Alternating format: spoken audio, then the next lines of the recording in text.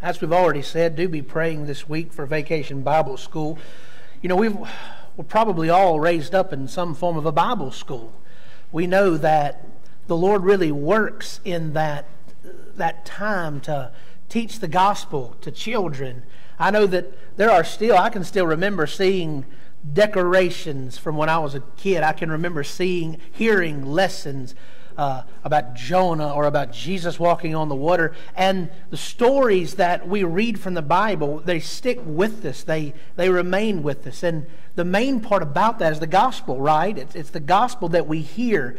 We hear it over and over and over again. It gets in our minds, and we pray that it gets in the children's hearts, and it continues on for a lifetime. We want to continue doing what the Bible tells us to do and training up a child, right, in the way it should go. And when they are old, they will not leave it. They will not depart from it. And that's what we want to do. So please be praying specifically this week. And remember that we will be having an adult class. Uh, uh, I believe it's 7:30, starting at 7:30. So we'll be doing that. We want to pour into everybody as much as we possibly can. We don't want anybody to have an excuse and say, "Hey, I didn't get to hear the Bible." We want to give it to you. We want to feed it to you. We want to pour it out to you. So please come this week. We'll, something for everybody. So, anyway, let's be looking in our Bibles to the book of Ruth, chapter 2. We've been studying uh, for a few weeks in the book of Ruth. We found young Ruth in the pagan place of Moab. She was not a follower of Christ. But God in His sovereignty, God in His holiness, God in His providence. You know, providence isn't a word we hear too often today, but providence is the invisible hand of God that reaches out and that moves and that, that brings us from circumstance to circumstance. And we might not always realize it while it's going on. But after we look back over the period of our life and we say, How in the world did I get here from there?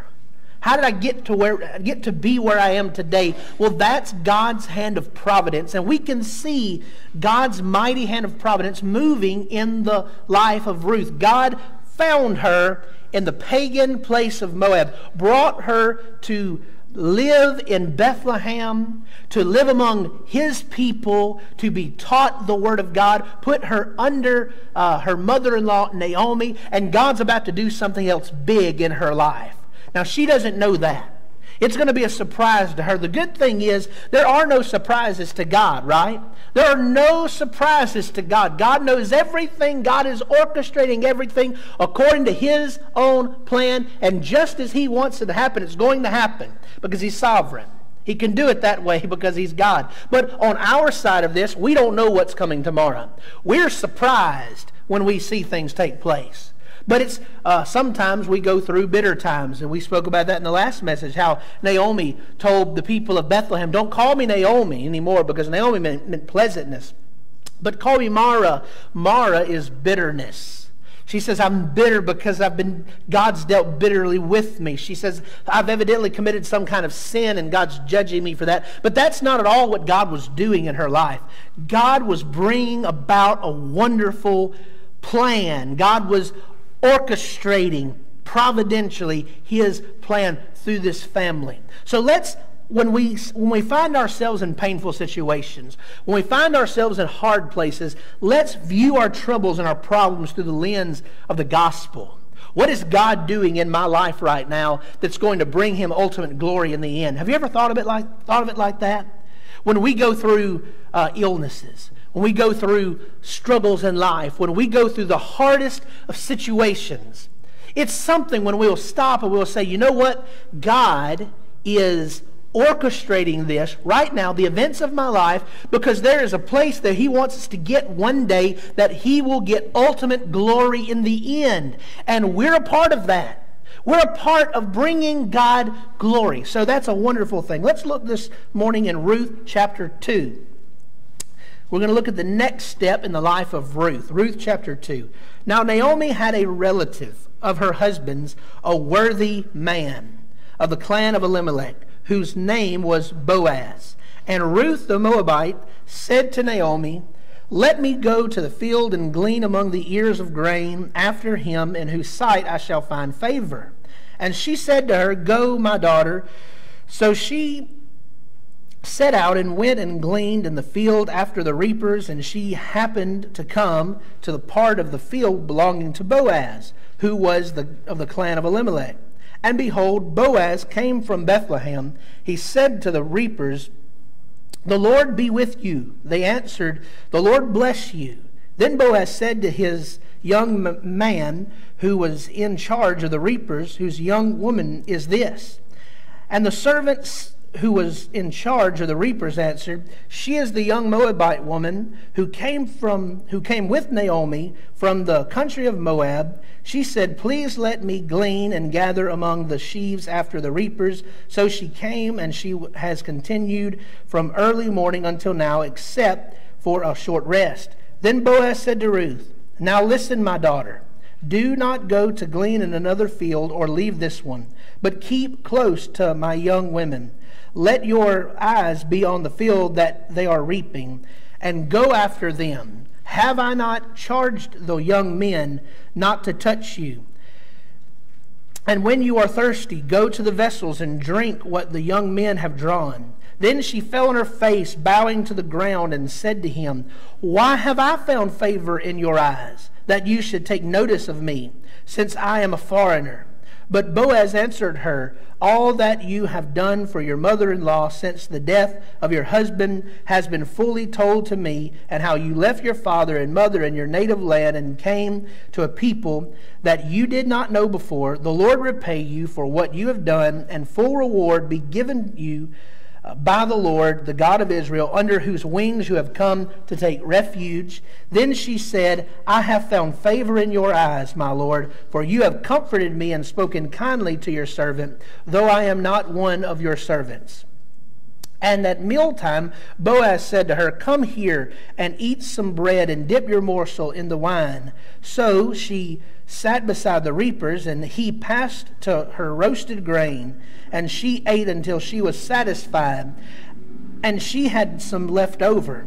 When she rose to glean, Boaz instructed his young men, saying, Let her glean even among the sheaves, and do not reproach her. And also pull out some from the bundles for her, and leave it for her to glean, and do not rebuke her. Let's pray. Father, Thank you for your word. Thank you for your goodness that you give to us in the gospel. I pray as we study this young woman's life in your word, Father, that you would open our eyes and pour out your blessings upon us and add your blessings to the reading of your word. It's in Jesus' name we pray. Amen. We come to a point in the life of Ruth where here she is in Bethlehem. They're settling in. But now these are two widows. The mother in law is a widow, the daughter in law is a widow, and they live in a time that's very hard for women. They live in a time that's very hard, especially if you do not have a male person in the home working, it's very hard for them. It's a different culture than it is for us today in many ways. But we can also relate to that uh, in some ways of people who are on fixed income and things of that nature. Well, God had set up years before in His law some ways to help the widows and, and the poor and the impoverished. And one of those things was that during the time of harvest, when the people who owned the field, they had servants reaping the harvest, that if you were a widow or you were impoverished in any way, you were allowed to go behind the reapers, and anything they dropped, the reapers were not allowed to pick it up. God said they were not allowed to pick it up. If they dropped anything, it to stay on the ground, and those who had need would come behind them and pick up what they had dropped. It was God's way of helping those in need.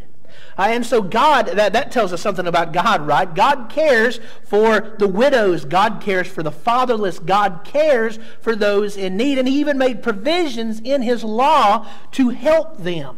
So anyway, we see this taking place, and this is the world in which Naomi and Ruth lived. So Ruth they woke up one morning and Ruth told her mother in law Naomi, Let me go to a field and find a place where I can glean and take part in this grace that God's given us. So Naomi said, Go. So she goes, and I, I love this. The, the scripture starts off introducing us to Boaz before we actually see Boaz. It says, Now Naomi had a relative of her husband, a worthy man of the clan of Elimelech, whose name was Boaz. So the, the central figure in this chapter is Boaz. Now we know that Ruth, the, the book is named after Ruth. And, and Ruth is going to be in every step of the way. But this chapter is dedicated to Boaz. Because Boaz is the main character in this chapter, and he, he is the one we're going to be looking at. Uh, we see that Boaz did some things for Ruth in this chapter. Now, I know this is Father's Day. Well, Brother Matt, why didn't you break off from your uh, regular series and preach a message on Father's Day? And, and, and, sometimes I do that. But I wanted to stick with this this morning, and I considered that. But as I looked at this, we see a good example of a great man in this text. But this great man does not point back. And it can. We can draw some similarities. We need to be like Boaz because of this. We need to be like Boaz because of this. We could draw those comparisons. But really, you know who Boaz points towards? It's not me, and it's not you, it's Jesus. Boaz is pointing us to Jesus. Boaz in this text is a representative of Jesus and what he does for us. What greater figure can we glorify this morning on Father's Day than to direct the fathers to Jesus? You want to be a good father? Do it like Jesus did. You want to be a good husband? Live your life like Jesus lived. You say, well, Jesus wasn't a father, Jesus wasn't a husband. No, but he sure set down the standards for how we are to live. He taught his disciples all of these things. He is the ultimate authority of all things. So let's be pointed to Jesus this morning in his word. And I want to see if in this text what Ruth received from Boaz. Here, Ruth is going to find a place to reap. Now, there are probably many fields for Ruth to choose from. And I like how the scripture says it. It says she happened upon. she happened upon a, a section of the field that belonged to Boaz. Now, we understand something here. Nothing in your life and nothing in my life happens by chance. Absolutely nothing.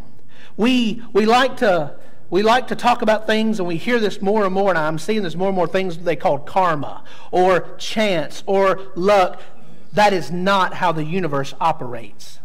The, how this thing operates is by divine sovereignty of God, divine rulership of God. Nothing happens to us by chance. Ruth did not happen to this place just because it was her lucky day, but God in his providence and God in his sovereignty brought Ruth to this place on this day to meet a specific person, and that is important. And she comes to the field, she begins to glean after the reaper. She asks permission, but I want us to notice some things, some things that she receives from Boaz. Notice when Boaz comes, look at verse 4. And behold, Boaz came from Bethlehem, and he said to the reapers, The Lord be with you. And they answered, The Lord bless you. Now, this is a common uh, greeting from someone, but we do see that he was a man of God. And then it says this Then Boaz said to his young man who was in charge of the reapers, Whose young woman is this? Now I want you to understand something. There are a lot of young women in the field this day. There are a lot of widows in the field this day. Now, there are some reasons why Ruth would have stood out among the others. She was probably younger than most of the others, for one thing. But also, she was of a different nationality. She was not Jewish. So there was probably some reason she would have stood out, but she caught Boaz's eye. And she here's what the first thing she receives from Boaz, she receives his attention. She receives the attention of Boaz. Boaz notices her. He asks about her. They, the servants begins to tell Boaz the story behind why she's here, how she had lived in Moab and her husband had died. She came back to Bethlehem with her mother-in-law, and now she's taking care of her mother-in-law. And Boaz hears all of this. Well, what does this mean for us today? How do we, what do we do with this? That, that, that she received attention from Boaz. It's important to know, since Boaz is a representative in this text of Jesus, that we as lowly as we are, we, as unworthy as we are, have received the attention of an almighty figure, and that is God. There is not one soul in this building who has not received attention from God. God knows your name. God knows your feelings. It goes deeper than the outside. God, obviously, He knows what we look like. He knows what we like. He knows what we don't like. He knows how you feel. He knows your reaction to situations. He knows you better than anybody else on this world knows you. He knows you so well that He has the hairs numbered on your head. He knows exactly how many hairs you have. God Almighty has given you His attention. Wow! How amazing is this? That God knows us in this fashion and God has given us His attention. I, love what uh, Ruth says in this in uh, down in verse 10, then she fell on her face, and, and we're going to get here in a moment, but I want to go ahead and just use this now. Then she fell on her face, bowing to the ground, and said to him, Why have I found favor in your eyes? When I think about the fact that God knows every sparrow that falls, and God knows every flower on earth. But more than that, God knows the number of the hairs on our head. God knows us intimately in ways that no one else knows us. When I think about that, I can understand what Ruth said. She says, Why in the world have I found favor in your eyes? I'm not worthy of your favor. I'm not even one of your people. I'm a stranger. What does that mean? She was a Gentile. She was not Jewish. She was not the same nationality as Boaz. And that was a big deal in this time. But that didn't matter to Boaz. That did not um, um, um, dictate his reaction to Ruth. He gave her his undivided attention. Now, how in the world, this tells us something about God. How in the world can God give us his undivided attention? Now, I want you to understand something about me. Some of you already know this. I do not have the, the ability to do a lot of different things at one time. And I'm sure many of you men share this with me. I, if you're talking to me and there's children playing over here, I do not know what you're saying.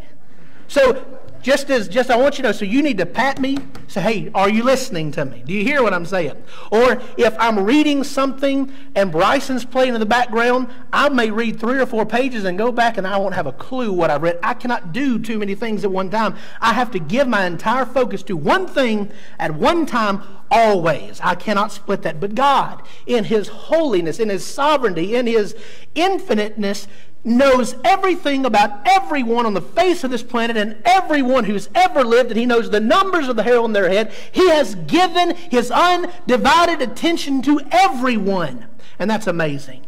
God gave us His attention. Boaz gave his attention to Ruth. But it doesn't stop there.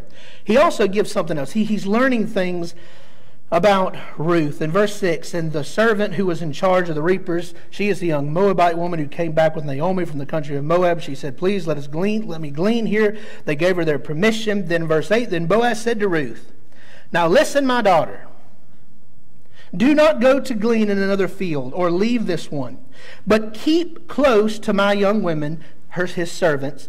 Let your eyes be on the field that they are reaping. Go after them have not outcharged the young men. So, anyway, we find here not only does Boaz give Ruth his undivided attention, he gives her welcome. Now, I want you to understand this is big. Culturally, this is big. This is something that possibly people in other owners of other fields would not have done. The reason we talked about it a little bit that she was not Jewish, she was a Gentile, she was Moabite. The Jew, during this time, they had a word for Moab that they described Moab, and it was God's washpot, and you can imagine what that means. They despised, to their sinfulness, they despised other people. They wanted to separate themselves from other cultures. Now, there was times when God said, separate yourselves from people. But that was for religious purposes. That was not to hate other people. They took it too far. They did things they were not supposed to do. But Boaz went against his culture and he welcomed this young woman. Now, this is a picture of Christ. Now, Christ is holy. Christ is sovereign. He is the only one who can save. He is worthy of all praise. What should he have done with us? He, well, listen, we spoke about this a little bit in Sunday school this morning. He would have been completely justified if he would have never given anybody, now listen, if he would have never given anybody the opportunity of salvation, he would have been justified because he's holy. everyone who's ever lived deserved to go to hell. That's not just something preachers say. That is a fact. No one deserves the, the, the, the ability, the, the, the opportunity to go to heaven to be forgiven of their sins. That is called grace. We sung about grace this morning. Grace is what opens the door for us. God, in His love, opens that door to us. He gives us the opportunity to trust Him, He gives us the opportunity to receive His grace. He did not have to do that to be justified. He would have been justified if he would have poured his wrath out on every one of us. Boaz welcomed Ruth. The culture would have looked at Boaz and they would have said, You don't even have to look at that woman, much less speak to her. You, you would be justified in telling her you need to go to another field and glean somewhere else. But that's not what Boaz did. Boaz did a gracious thing. Boaz did the merciful thing. And Boaz welcomed her. Not only uh, gave her permission to glean in his field, but he went a step further. He said, Don't go to another field. Don't leave. There's plenty here for you. There is plenty here for you. And if you, you will stay in my field, I will protect you. I will give you everything you need. I will make sure you do not leave this place hungry if you stay in my field. I believe Jesus does the same thing for us. We are welcomed into the family of God even though we don't deserve it. And then we are called upon to remain, to remain faithful to Him to not go to other places to find uh, someone to fulfill our needs when Christ is all that we need to fulfill every need we have. He's all we need. In our good times, He's all we need. In our suffering, He's all we need. When we're high or when we're low, whatever it, our condition may be, He's all that we need. And he has invited us to stay, to, to be in his field, to be in his family, and to remain there. He encourages us to faithfulness. And we are encouraged today as Christians to remain faithful. This is where our sanctification comes in. You hear le- lessons, Bible lessons, you hear sermons, and you hear this a lot. T- people teaching on faithfulness. Remain faithful. Do not leave. Do not forsake. That is an important thing to hear over and over again because Christ, is, Christ wants you to be faithful. So we see that Ruth received attention. And then Ruth received welcome. Number three, Ruth received protection. He told her not to go to another field. He says, Have, not I, have I not charged the young men not to touch you? Now, obviously, this is in a sinful world. And any of these young men could have tried to take advantage of Ruth. But you know what? Boaz took the responsibility of protecting her. Boaz, the one who owns the field, says, Do not touch her. They hadn't even said they wanted to touch her, but Boaz said, Don't touch her. You leave her alone. You make sure she's protected. I'm going to make sure you're making sure she's protected. Don't touch her. We have a God in heaven who loves us so much that he not only gives us his attention, and he not only welcomes us into his family, he also protects us. I think about the shepherd psalm, Psalm 23, where the, the, the David begins to speak about the Lord is my shepherd, I shall not want. He makes me to lie down in green pastures. Uh, and, and he, he leads me beside the still waters. He restores my soul. The good things, the sweetness about being with Christ, our shepherd. But then he goes on and he says, Even though I walk through the valley of the shadow of death, I will fear no evil, for you are with me. Your rod and your staff, they protect me. The, the staff is for keeping the sheep in. The staff would have a crook in the end, and if a sheep went too far, the shepherd would take that staff and would bring him back. The, so it was for to protect the sheep from leaving. The rod was for uh, was a weapon against enemies. Was a weapon against uh, wolves or coyotes or whatever the animal might have been that was trying to get the sheep. So your rod and your staff are protecting me. God is actively protecting you against the enemy.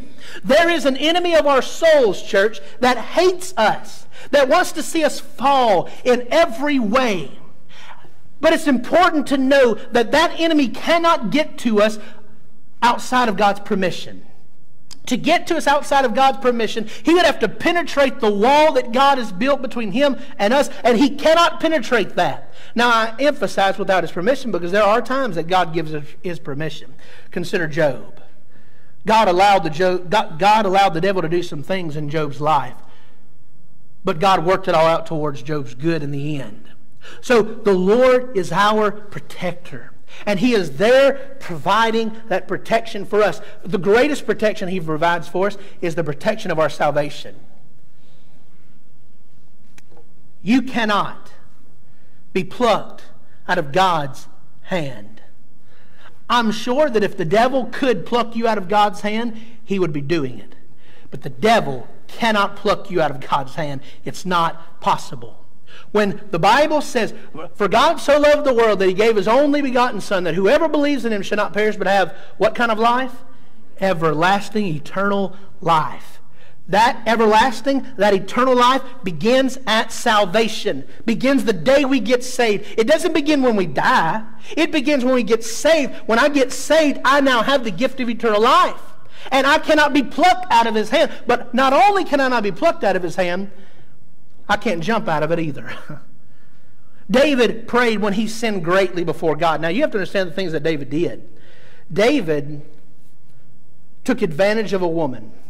David committed adultery. David had that woman, her husband, killed. Horrible, terrible, vile things.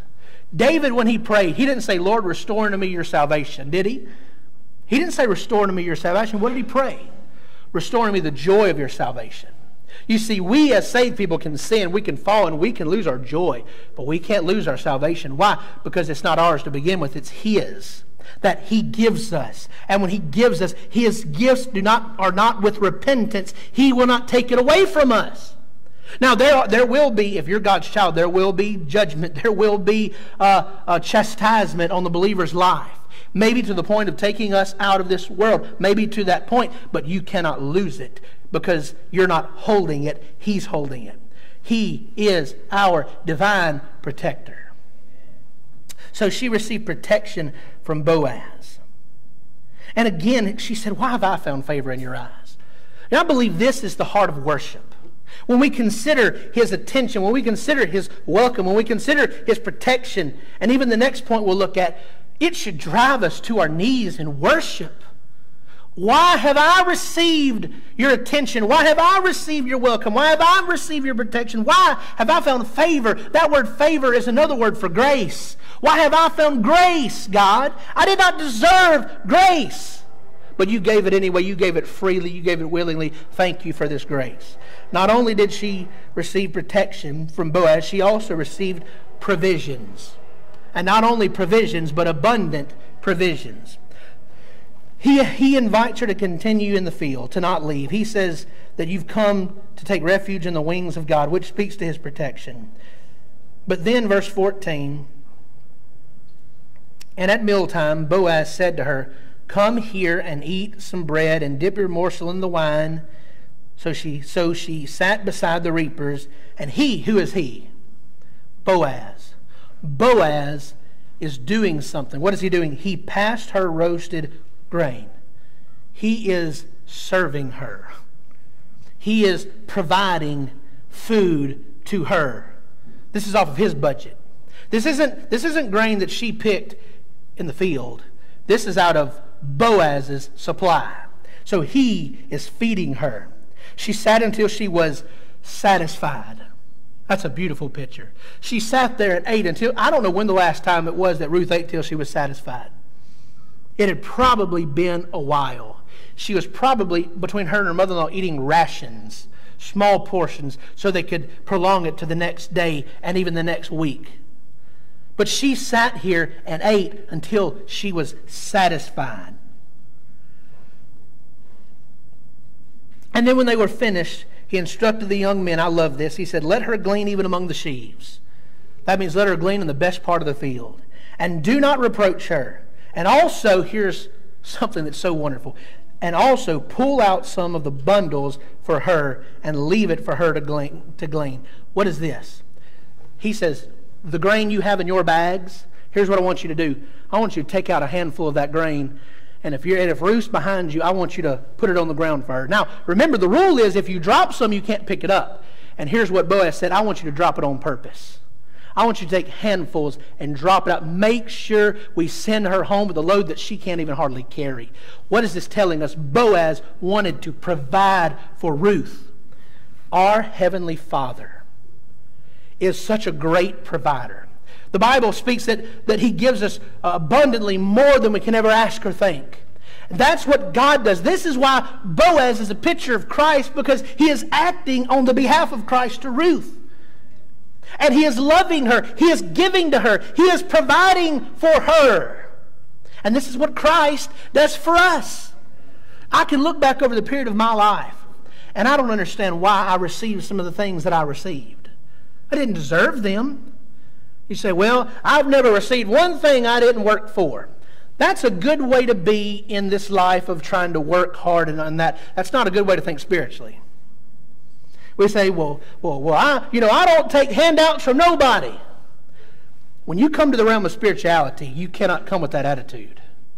When we come to the realm of spirituality, we say, Lord, I am a beggar. I have nothing to bring. I can't provide for myself. I do not have this ability. God, I am destitute.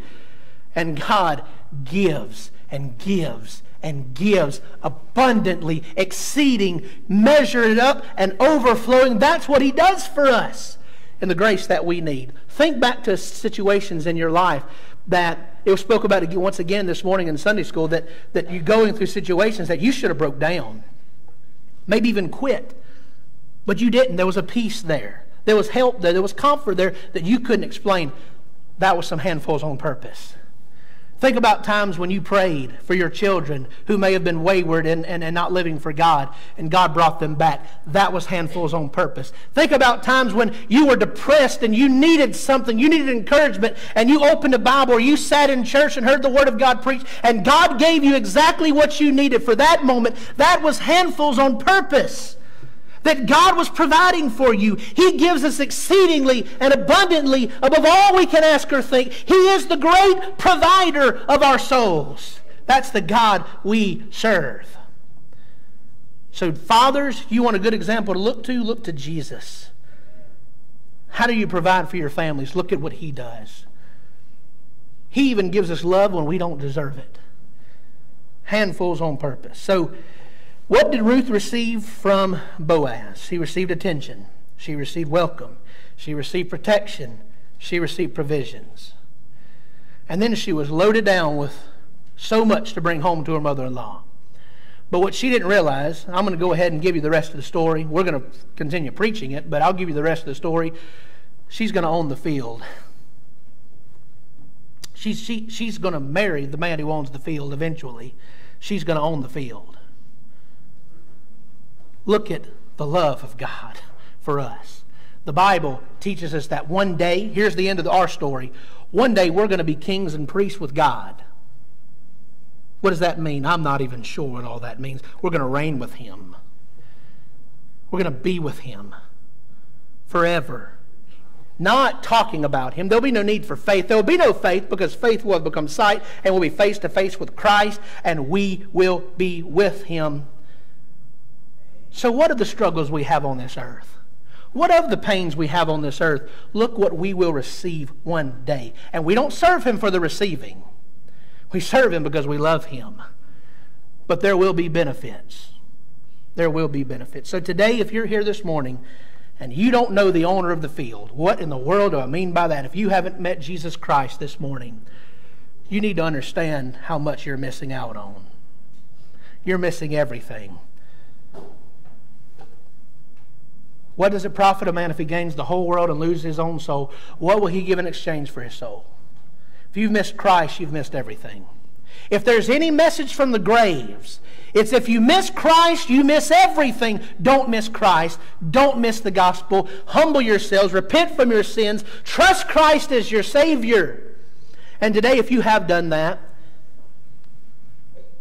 don't become downhearted. Don't become depressed. Don't become discouraged because you serve a God who owns the field. and He can give you exactly what you need, exactly when you need it. from His abundant supply. Let's pray. Father, Lord, we come before you in the precious name of the Lord Jesus. We thank you so much for your divine grace. Father, Lord, we pray that we would be people that depend on you. Let us not be prideful and think we're going to do it ourselves because we'll never do it. But let us be people that are beggars for your mercy, beggars for your grace. It's in Jesus' name we pray. Amen.